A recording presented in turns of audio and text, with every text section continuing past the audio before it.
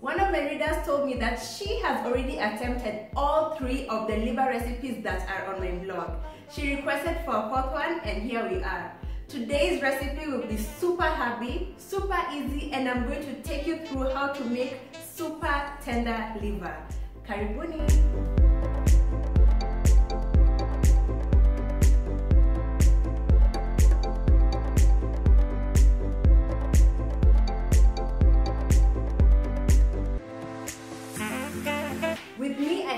Kilogram of liver. The first and most important step for getting super tender liver is to peel off the membrane that coats the liver. I didn't know this until a few years back and it's a tip my aunt shared with me. Since then, I've never ever skipped this step. I thought it wasn't as important, but after I tried it out, I've never looked back. You should try it as well and trust me, you too will never look back.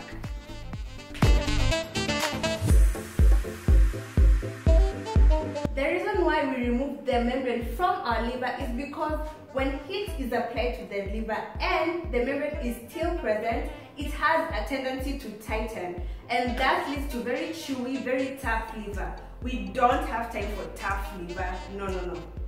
The membrane comes off pretty easily like sellotape. I have taken about 5 minutes to remove the membrane from my liver and I'm pretty much done. My liver is a bit slippery I must admit, but if you want to have a more smooth sailing process of removing your membrane, just freeze your liver for a few minutes. When it's semi-frozen, the membrane will come off pretty easily. This is totally worth the effort, trust me. Your tongue, your tummy, your jaw will thank you for the effort you put in, trust me.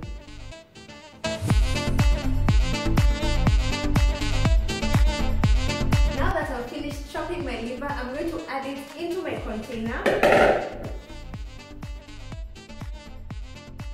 And then we're going to add half a cup of milk. The reason why we add the milk is so that any to toxin that is present is absorbed by the milk and also to further soften our liver.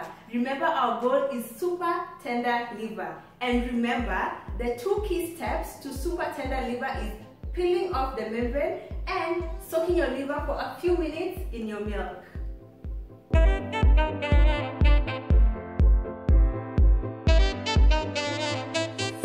I'm now going to let this soak for about 5 minutes. In the meantime, let's get started on the mchuzi.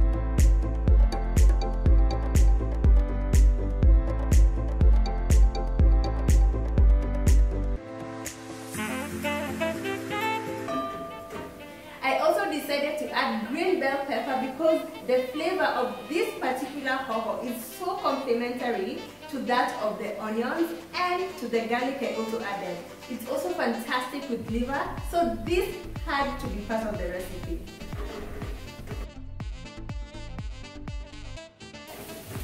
Now that my onions have softened and the garlic is fragrant, I'm going to add my tomatoes followed by the tomato paste.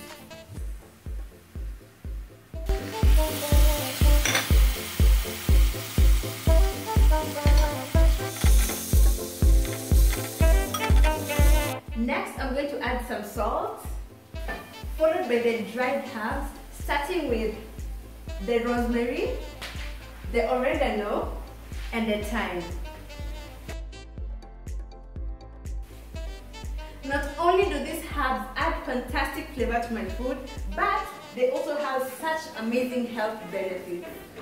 Rosemary, for example, is an excellent antifungal and it helps in memory recollection. Oregano is a very good antioxidant and thyme has been found to ease arthritis. That's really good. I don't know why Kenyans in general are so scared of spices, yet they come from plants and they also have health benefits to your body.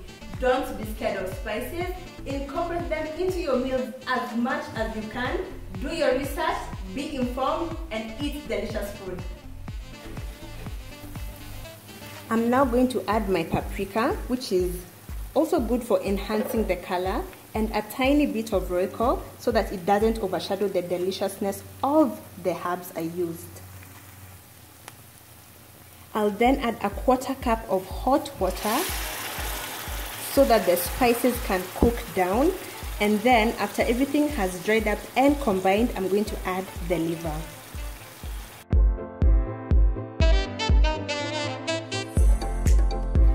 my tomatoes are nice and thick everything has combined beautifully I'm now going to add my liver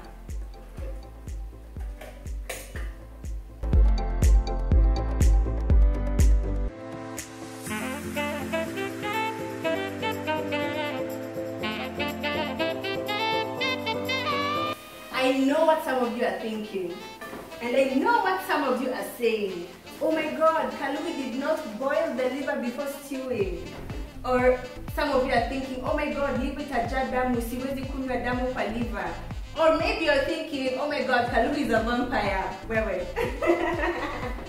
I'm not a vampire. First of all, when you remove the membrane off the liver, you can entirely skip the boiling before stewing your liver step and also it will cook a lot faster and still maintain its tenderness. And I'll prove to you that each and every piece okay I'll prove to you that the liver is indeed cooked through.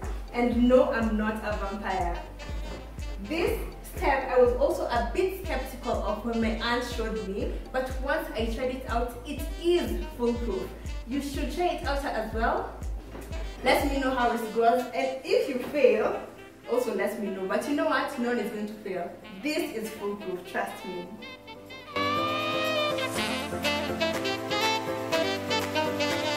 To confirm if the liver is indeed cooked through, just take one piece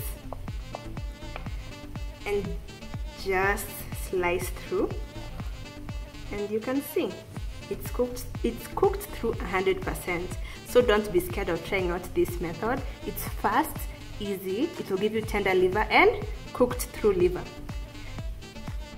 Now that we've ascertained that our liver is perfectly cooked through, I'm now going to prepare my garnish and we're done. How easy was that really? So easy.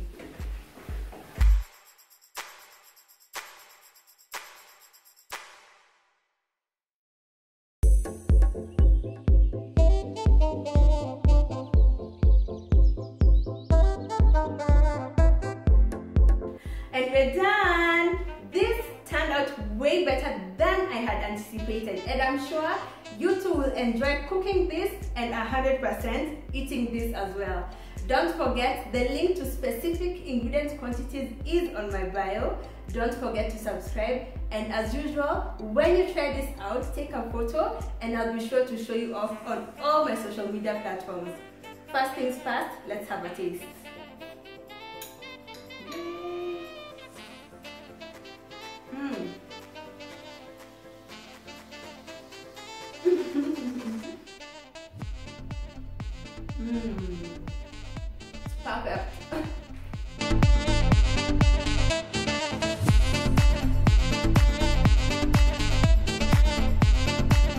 Be sure to like, comment, share and subscribe.